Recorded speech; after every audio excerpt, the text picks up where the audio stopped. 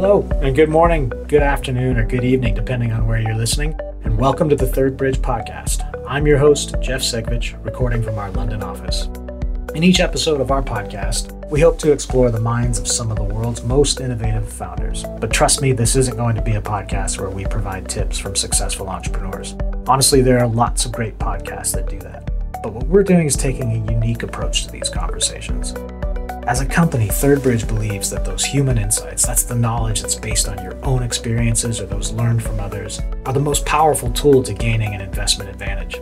Frankly, it's why our investor clients choose us when they're looking to generate better returns. What we've also seen beyond our own business is that founders of businesses all over the world can trace their own business success to human insights. Whether it's the lessons learned from their own experiences or the information shared by an inspiring mentor, or those dozens of no's that they hear from investors before finally getting to that critical yes. And that's the information we, frankly, find to be the most interesting and engaging as well. It makes for great storytelling, so we thought, why not have a podcast where we can dig into those and have conversations with these really innovative founders about those human insights and how they drove success for their own businesses. So, actually, we hope you have as much fun listening to these conversations as we enjoyed having them. Thanks for joining us. Hello, everyone. Thanks again for joining us. Uh, we're going to be sitting down in a moment with Tobias Peggs from Square Roots. Um, this is a really interesting business co founded by Kimbal Musk that basically changes the way, essentially, that we think about where our food comes from. Uh, most of us are used to going into the store and, you know, buying bananas or herbs or you know vegetables that could have come from thousands of miles away and Tobias and Kimbal really wanted to change that and localize where we get our food from. So they've created a business that revolutionizes how we do that. And there's a couple things that I wanted to point out prior to uh, jumping into the conversation with Tobias. And one is um, I think it's really interesting how he came to the idea to found this business, spending time in a retail environment that most of us will have heard of, and getting a sense of how these sort of mass market produce is coming into households uh, across the world and how he really wanted to affect change in that with the business that he launched with Kimbal. So I think that's really interesting. Please listen to that. Um, the other thing that I think is completely fascinating about this business is it's not only a uh, a typical business in the sense that they want to succeed and, and grow their customer base and um, have their employees do well, but it's also an incubator for talent. So they are taking individuals and putting them in an environment um, where they become micro entrepreneurs within the company. Um, and then when they get to sort of the end of their um, cycle with the business, they're prepped to become the next great food entrepreneurs who will create businesses that will revolutionize you know how we consume food. So really interesting business uh, both from in terms of you know how we uh, consume uh, what they produce but also in terms of the successful talent that they're producing as a business when their employees go through the program of, of being farmers. So really excited to uh, to bring you this conversation and um, take a listen Tobias, thanks for joining us. Thank you. I'm really happy to be here and uh, excited to try and explain what we're doing. Yeah, no, I mean, I, I think the concept, like I said, I think it's really going to resonate with our listeners. It, it resonated with me when you and I were chatting before the uh, the recording. Um, and, and I think you know you've got obviously a very interesting business um, that impacts consumers on a daily basis. So really excited to have you have an opportunity to talk about how you came about the idea and how you've gotten to the point you are now. But before we get into that, um, why don't we um, kick off by telling our listeners a little bit about yourself, your background, where are you from, um, where are you now, and then kind of how did you get to where you are now? Yeah, so um, you know, I grew up in England in uh, rural Devon and Cornwall, which was lovely. Um, you know, ended up doing um, computer science at school, and uh, this would have been sort of as the consumer internet was happening, mid '90s. So pretty much, I've spent most of my career on the internet. Um, you know, I always joke that I went to school or university without an email address because they didn't really exist for normal people. And uh, when I left, I set up a web company. Right, it was kind of like right at that moment. Um, during, that. yeah, d- during that sort of time, I ended up in Silicon Valley, um, sort of in early 2000s, I guess. Um, and uh, there I met uh, this chap called Kimbal Musk, um, who had already been a very successful internet entrepreneur. Him and his brother had, you know, built and sold companies for hundreds of millions of dollars, and um, he was actually setting up an early social media analytics company. Um, and uh, so I started working with him on that. It would have been sort of 2005, I guess. Um, I ended up becoming CEO of that company. Um, and uh, that company was acquired by Walmart, mm. people. So uh, you know, I went from startup land to working at Walmart, which was very interesting. Right, you go from a company with like 20 employees to one with two million employees, and you you learn a lot about how to execute at a completely different scale. Yeah. Um, Kimbal at that point had already um, sort of got very, very interested in the food system in the US, and completely different from tech. You know, he was beginning to see very big issues with the industrial food system. Uh, you know, 30% of greenhouse gases come from industrial agriculture. The food that we eat is often shipped in from the other side of the world. We've got you know, no idea who grows it or you know how it's grown. Um, you know the food that we're eating is making us fat and sick. You know, obesity, di- um, you know, diabetes epidemics. You know, all are linked back to the food system. So he started beginning to look at this, and, and, and you know, was getting very curious. While I was working in Walmart, pure coincidence, one of the projects that I did, I started looking at global grocery buying behaviors and, mm. and we're seeing issues with the food system. Um, you know, in, in other ways, right? I was looking at hundreds of millions of Walmart customers around the world buying uh, food products, you know, and clearly wanting to have products from all over the world.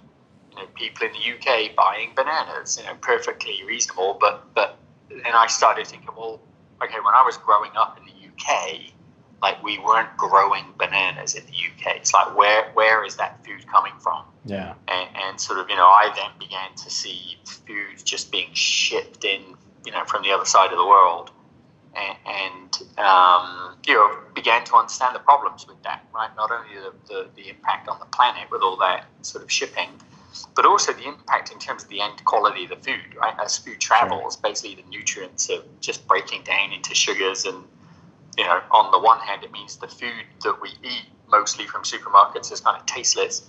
Um, you know, but there's a reason for that, right? Which is it, it might be high in calories, but it's like very low in nutrients, and there's a sort of direct correlation between taste and nutrient. Anyway, so I started seeing all those issues, and then and Kimbal and I, you know, from our different different aspects, came back together again a couple, of, maybe three or four years ago now, and uh, started working on uh, the business that, that we now have together, which is Square Roots. Right.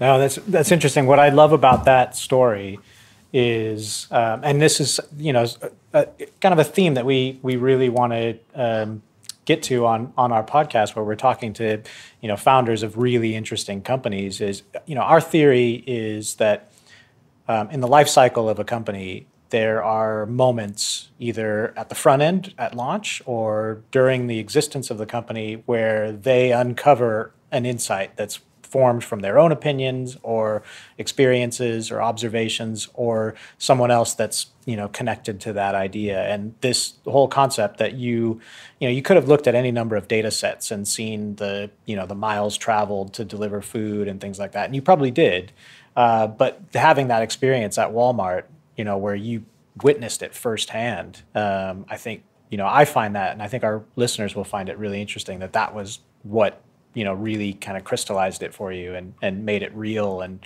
you kind of understood the, the pain points and the opportunity. So, um, so I love that. That's such a, such a unique, um, great story.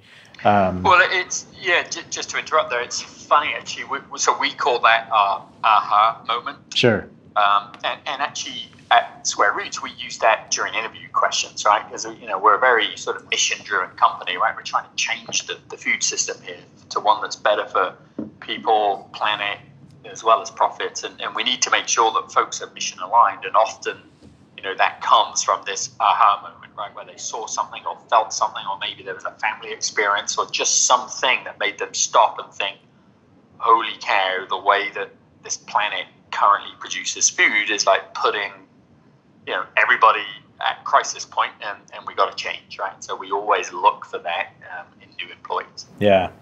No, I mean, it's such a critical um, sort of, you know, I guess discovery. And I love that, you know, that, like you said, the aha moment. Um, uh, and I love that you got you wrap that into just kind of the, the culture of your of your company when it's you know either new hires or just kind of um, ideating in, internally about you know um, strategies and things like that. So tell uh, you know I, I, think we've just kind of scratched the surface, but but tell our listeners a little bit about um, you know Square Root. So you obviously had discovered this pain point um, that you aimed to tackle.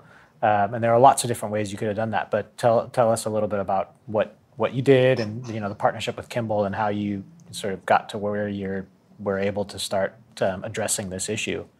Yeah, sure. So you know the issue is the current industrial food system is a disaster, and and you look at solutions for that, and you start to realize that locally grown food can be the solution here, right? If if food is grown in the same neighborhood as the end consumer, right, then the consumer can get more connected to that food. Right? They can literally know their farmer and, and see what's going on.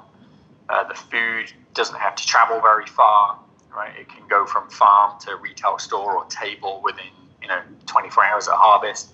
That means the food is fresh, it's more nutritious, there's less waste along the way. That's another huge issue with industrial food today, right? 40% of the food that is grown in the US is wasted. Um, and you can go on and on and on, but you know the bottom line is, if we could get locally grown food to every single person on the planet, wouldn't that be a good thing? Mm. And that's all well and good until you start to think about where these people live, right? So by 2050, we're heading for a world with 10 billion people, and 70% of them will live in urban areas. So if you want to think about getting locally grown food to people, then you've really got to figure out urban farming, right? How do you grow food in the city where people live?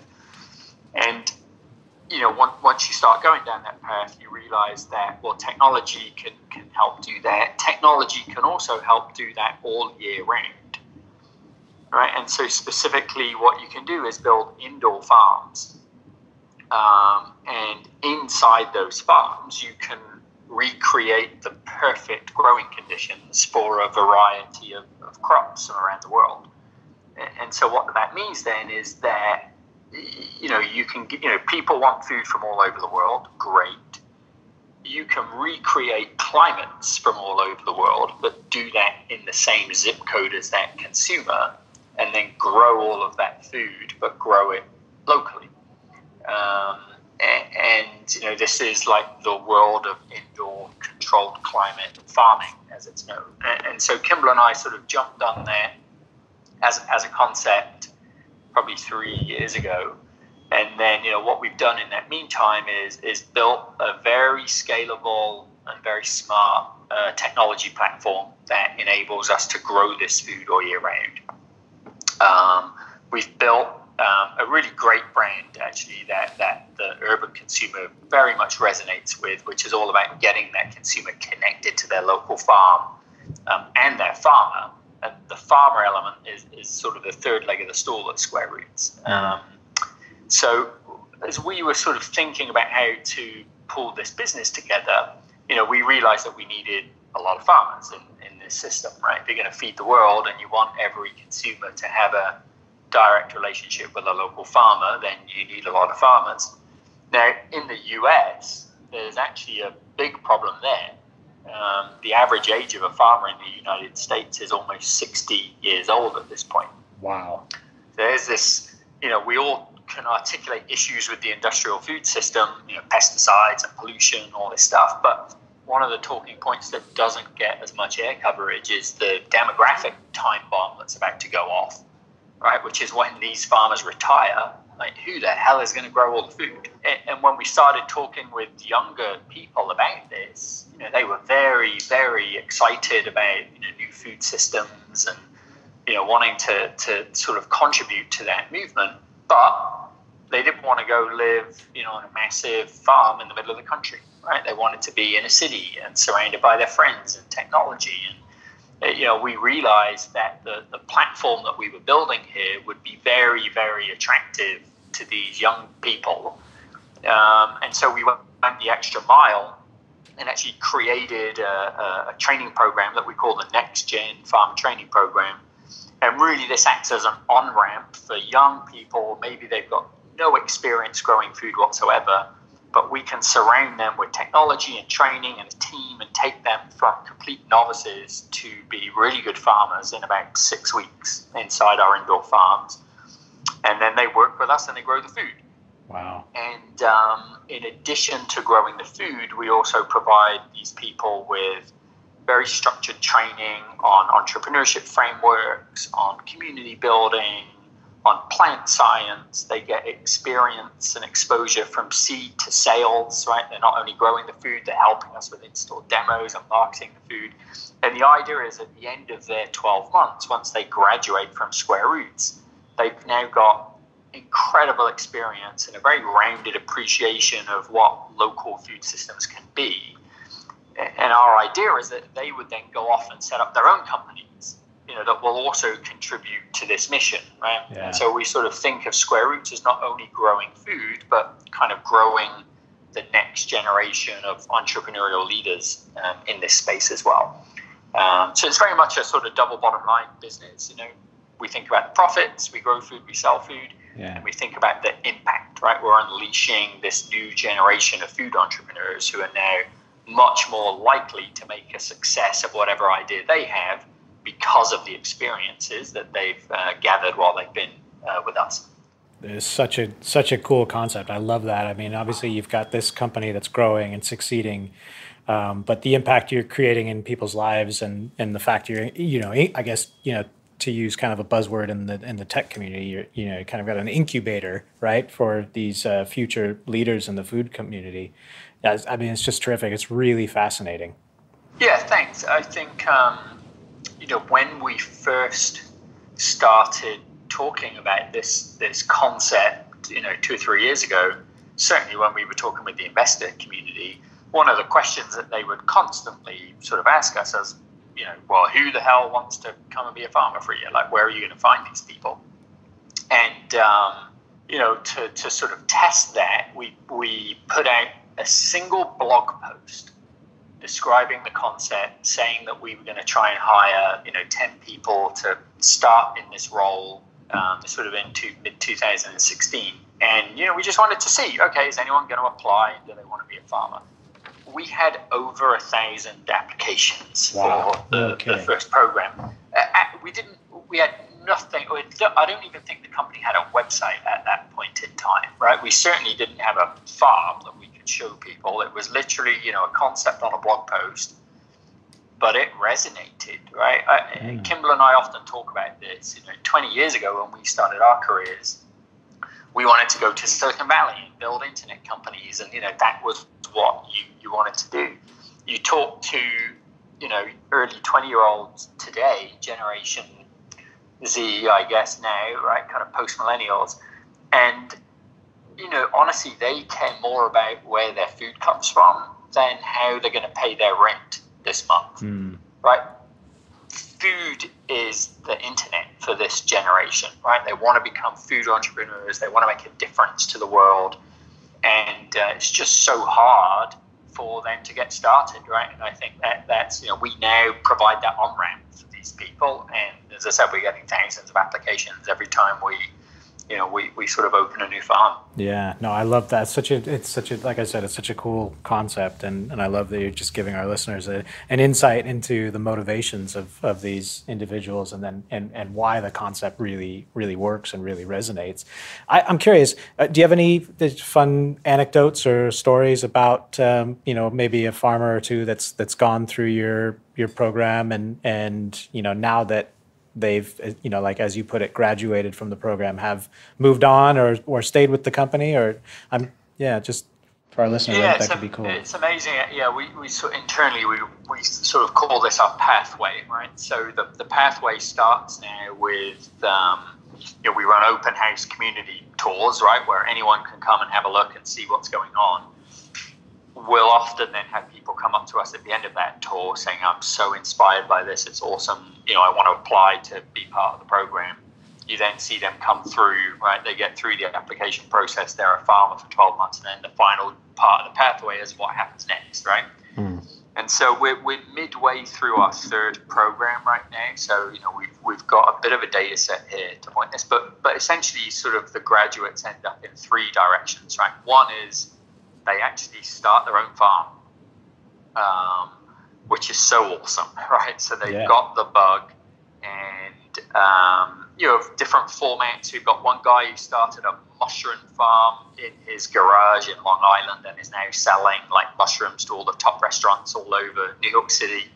Um, there's a woman who started a rooftop farm and she works with local real estate developers and sort of builds a farm literally on the rooftop for apartment blocks and then runs a CSA program for all of the tenants in that building.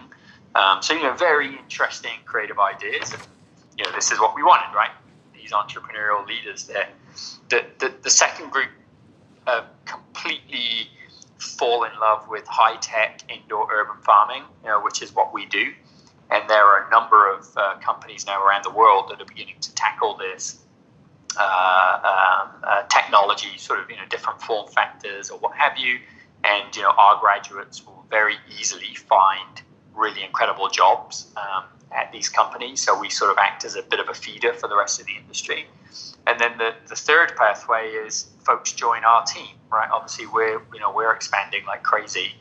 And so we need people who, you know, A, completely buy into the mission, B, understand the values, C, understand our systems, um, right? And so farmers who've been through the 12 month program clearly have got all of that.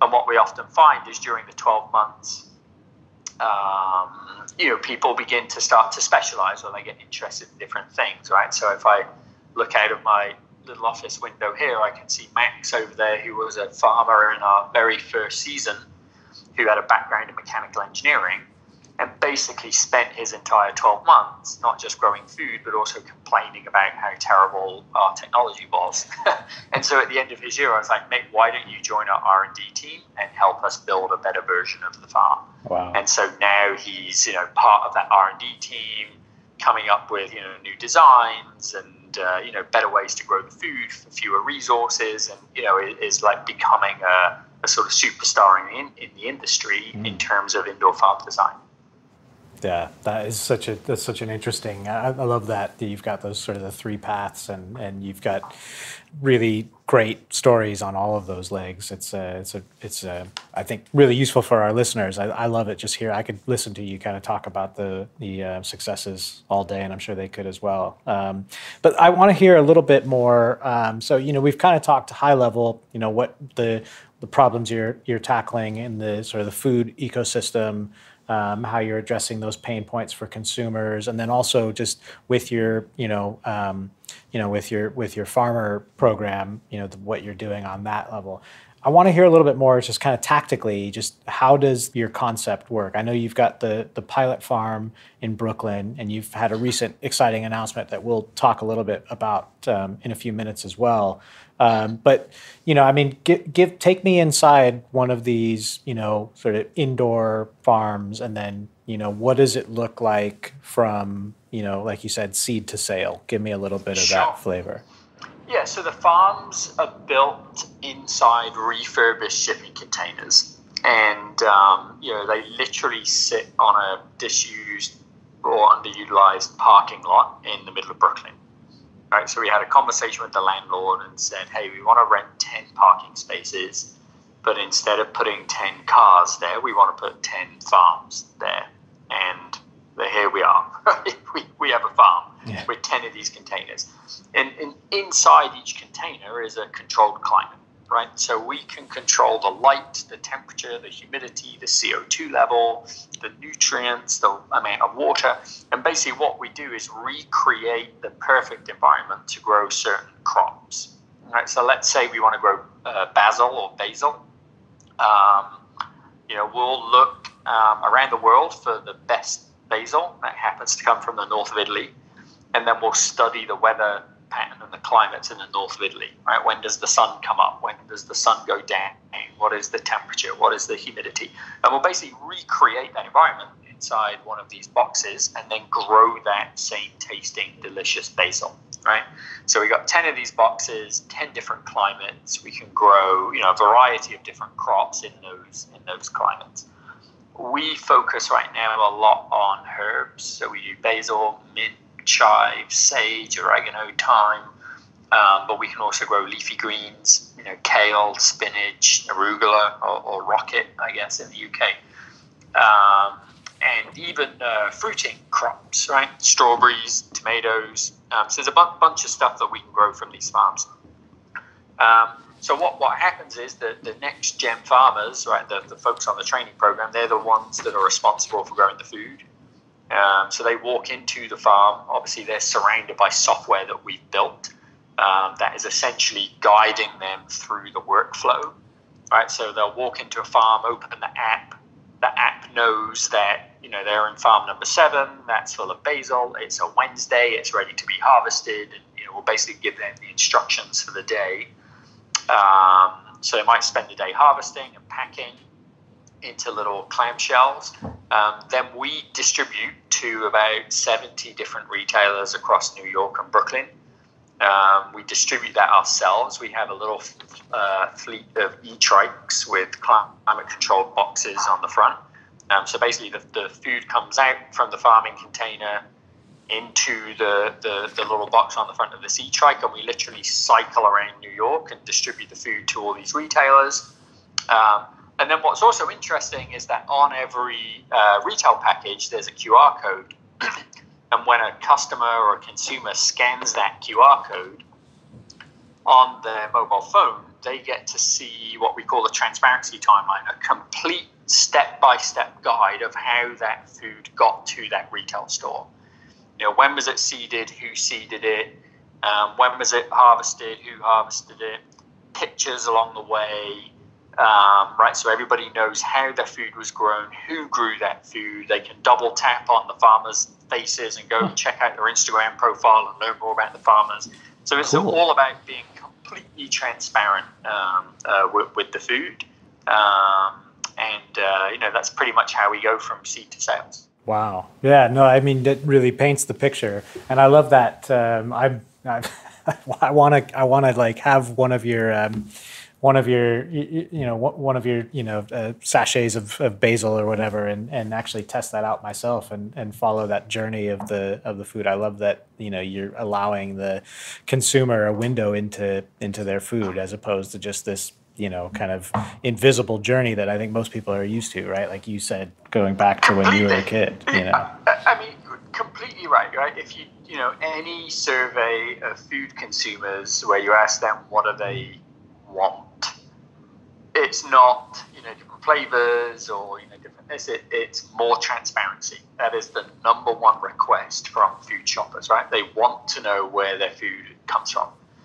And so you know we took this idea of transparency to the nth degree right? Not just with the transparency timeline on the packaging so you can see that story but like physically right? Our farms have got a huge window on the end that we leave open all day long. So anybody walking by can just you know, literally see the farmer at work, mm. um, you know, and see how their food is grown. So yeah, transparency to us, you know, is is much more than a sort of marketing term. It's you know we got the data to back it up, and then we live it as a core value.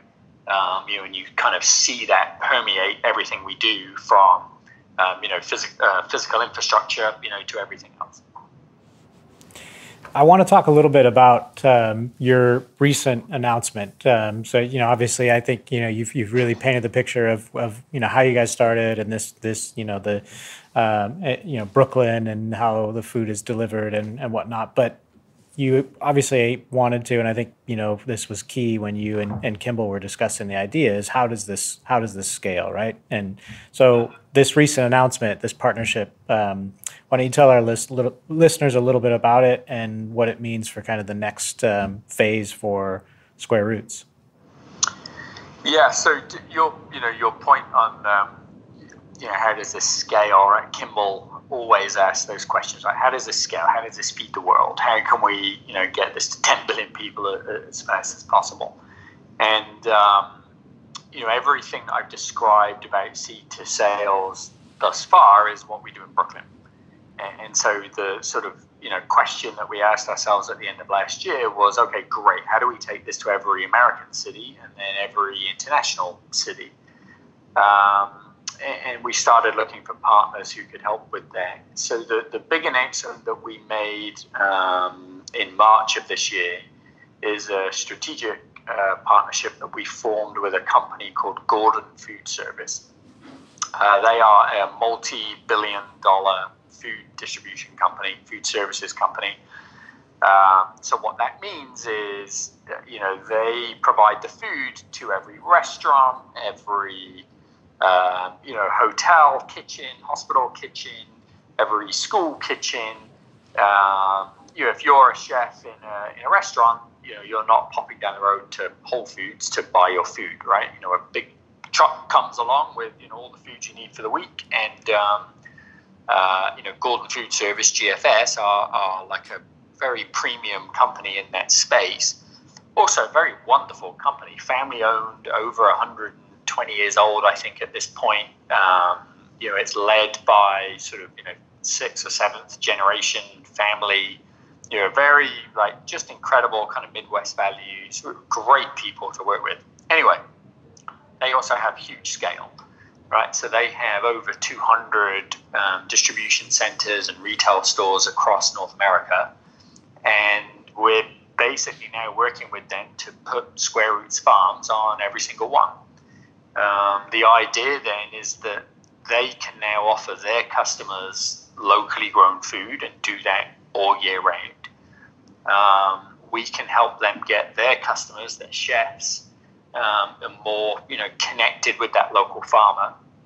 Um, and um, you know, in addition, of course, that turns our farmer training program into you know what we hope will become a global movement. Right, we'll have much, much, much more capacity now to hopefully be training you know not just tens of people at a time, but thousands of, of people at a time.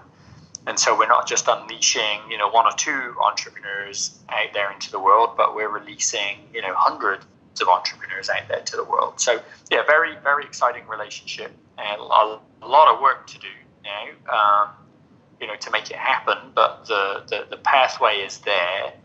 And, you know, the idea, as I said, is to, you know, go bring locally grown food to, you know, pretty much every consumer in a, in a major metro area in, in the US in the next couple of years. Wow. So, it, what um, what markets uh, on the on the sort of the short term? What markets might people expect to start to be able to, you know, um, to have some of your your products?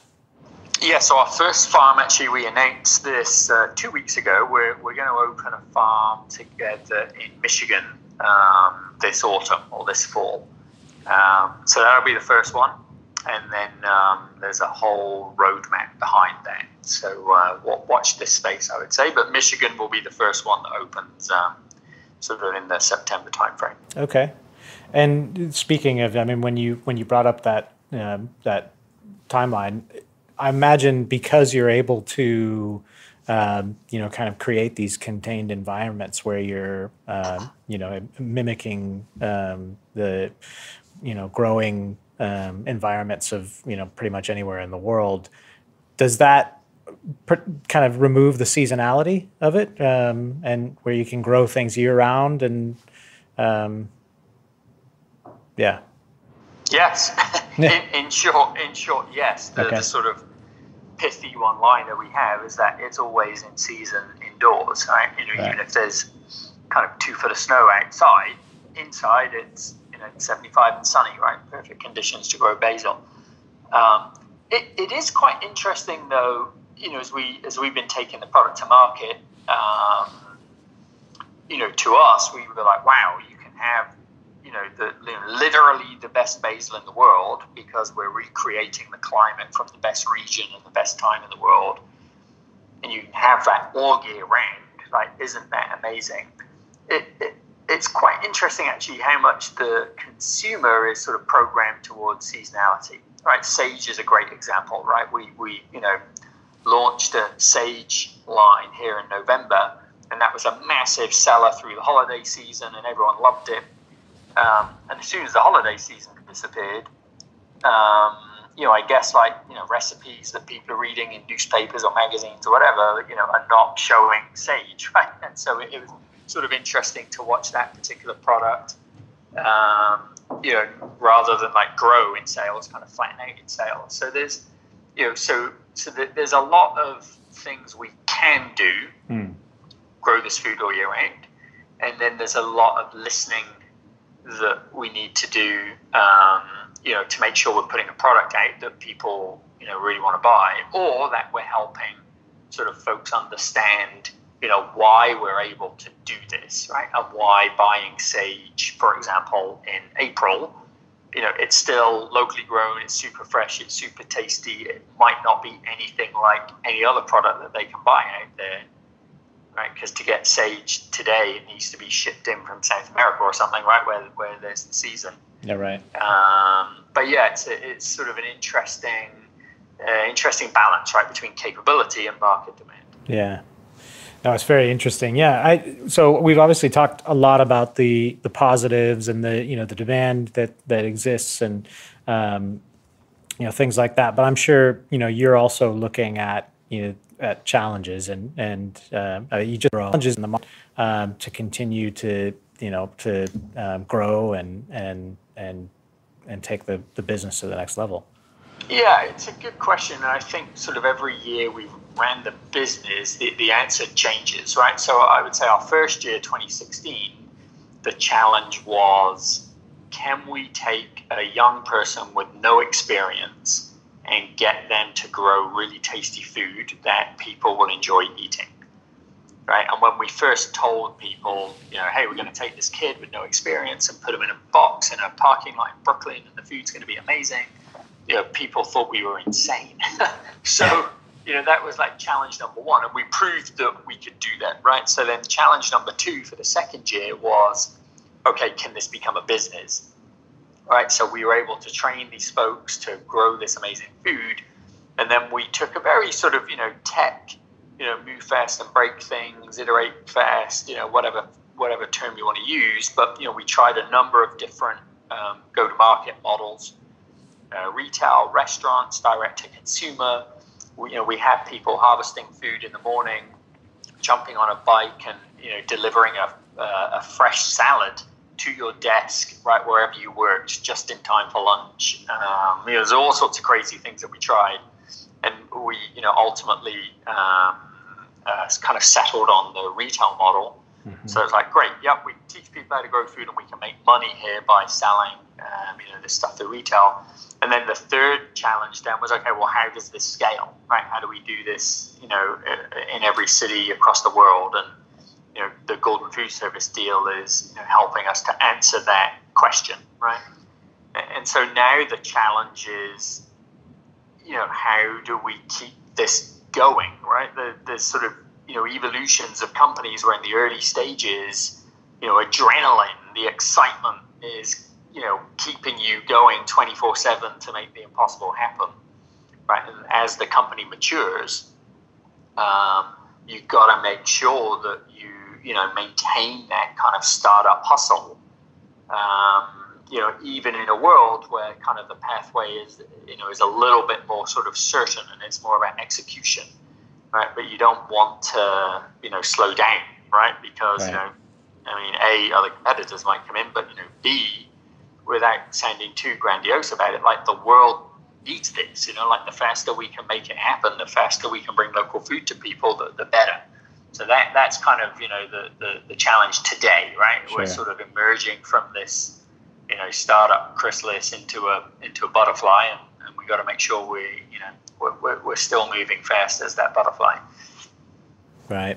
How about um, you know long term uh, plans? You just touched on. Obviously, you're you're really motivated to you know to to um, expand the you know what you're doing, um, and obviously the Gordon Food Service um, partnership gives you quite a foothold. Um, you know, at least in the at least in, in the U.S. and, and North America.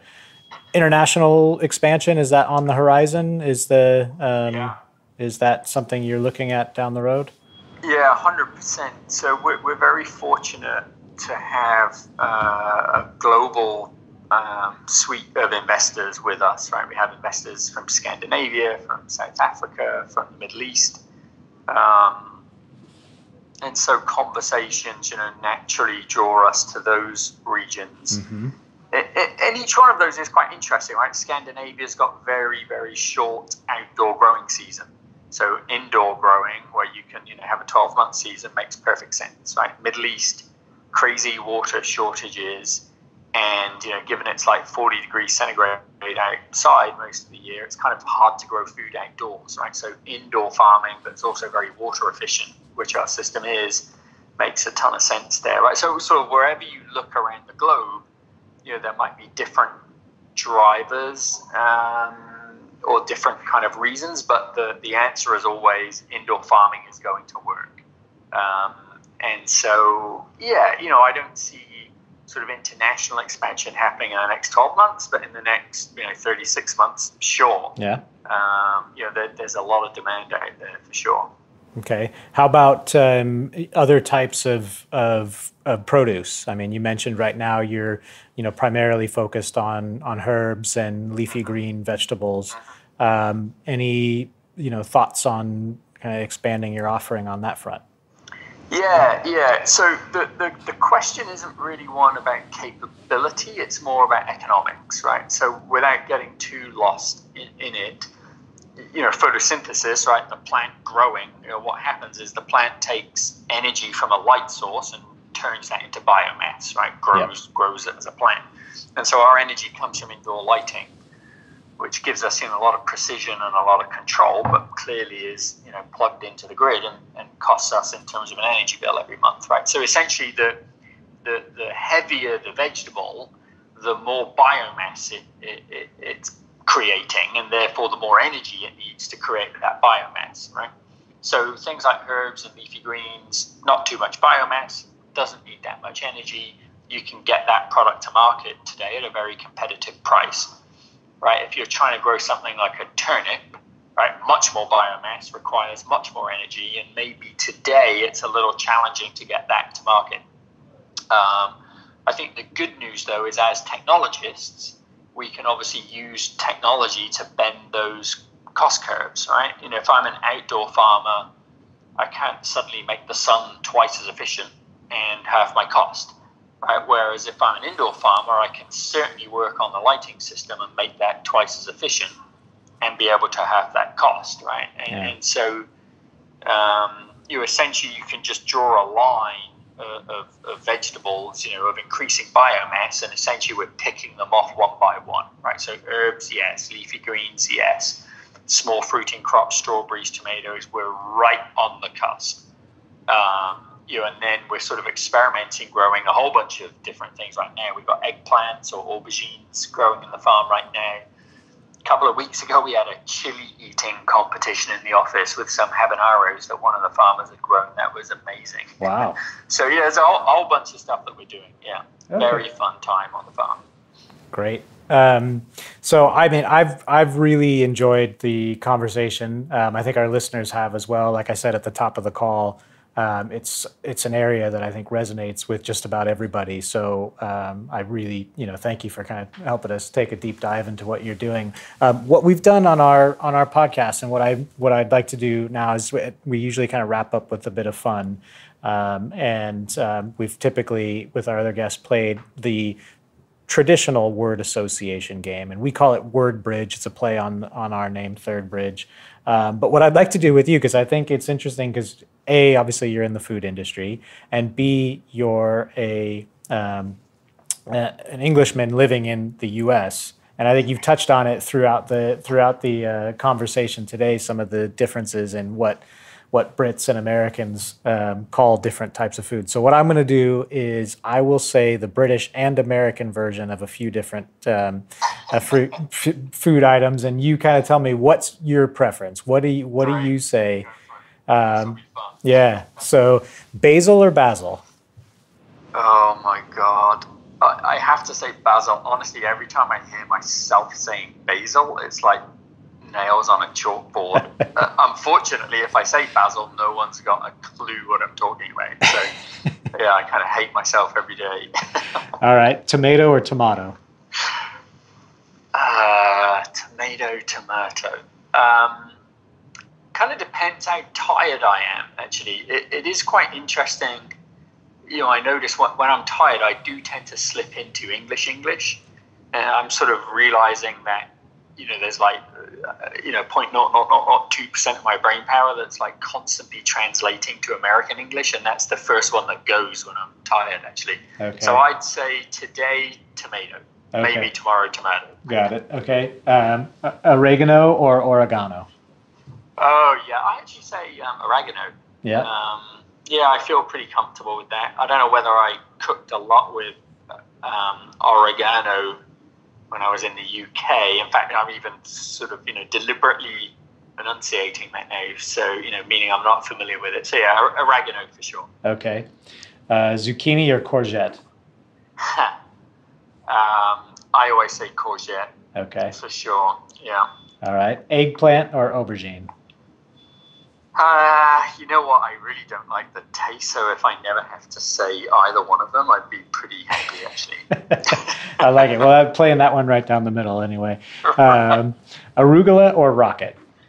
Uh, arugula. I didn't even know arugula was rocket. Actually, um, it was only when I posted something about square roots arugula on Facebook, and then all of my English friends piled in and said, "Don't you mean rocket? You've been living abroad too long." And I was like, "Oh, okay." Yeah. So yeah, um, arugula.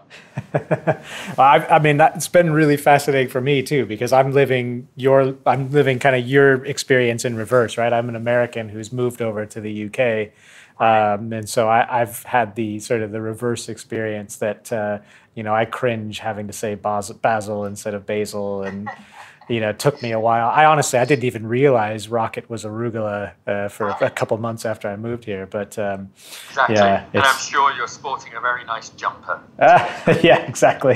yeah, you got to be careful about about telling anybody about their pants as well. So Especially khaki pants, which Yeah. Americans are very fond of wearing, and British people really laugh when you say that. great, I love it. Uh, so uh, uh, the other thing that we like to do is just to kind of take take people inside the lives of these interesting founders at the beginning of their day and and ask, you know, what's the first thing that you do when you get to the office each day? Oh, um, when I get to the office, that kind of depends actually. But my schedule starts much earlier than that. Um, so I'll get up, I'll have a cup of coffee. Uh, it's almost becoming a bit of a cliche now, but I meditate for 20 minutes um, just to like get my head in order, get focused, get rolling. Um, I'll then often exercise. I'm a competitive triathlete. Okay, Um, and then I get to the farm. Right. So uh, you know, I might turn up here at like nine thirty, but the day's kind of three hours old at that point. Sure. Okay. Um, great. Well, yeah, I, I, I, I've, like I said, I've really enjoyed the conversation. Um, you know, hopefully it was uh, enjoyable for you as well. Um, Yeah, I really enjoyed it. Thank you very much. Yeah, no, you've been you've been really um, interesting, and I think our listeners will really enjoy it. Um, I definitely want to make sure before I before I um, leave the conversation, uh, where can our listeners go to find out a little bit more about Square Roots and what you guys are up to? Absolutely. So our website is squarerootsgrow.com, and then all of our social, Twitter, Instagram, is also at squarerootsgrow. Uh, we're super active on social, so definitely follow us. If you follow us on Insta, you'll get a really good view of like, uh, you know, what's happening day to day on the farm. Uh, pictures from inside the farms, what the farmers are doing. Um, it's really fun, actually.